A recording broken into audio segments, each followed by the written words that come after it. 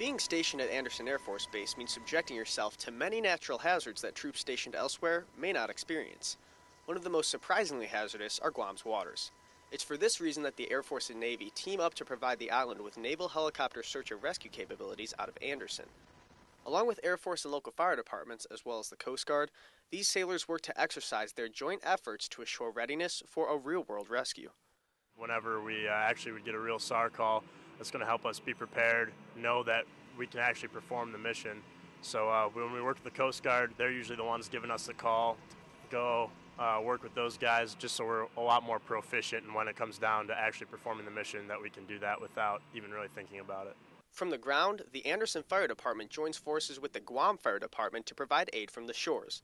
This includes gathering such equipment as jet skis and litters in the event that they can respond to a rescue more efficiently than other agencies. Once their equipment hits the water, the firefighters take off into the ocean to help. Meanwhile, in the skies, HSC 25 rescue helicopters can be seen sweeping the area to assist in this cohesive, life saving effort. Up here, it's kind of Andersen Fire Department's jurisdiction, but in the event we need Coast Guard or Navy HSC 25 to help respond, they kind of know the area. Any other agency that's, that's willing to help, it's always beneficial. It brings a different aspect to the exercise or to any emergency. This is not a responsibility that can be taken lightly.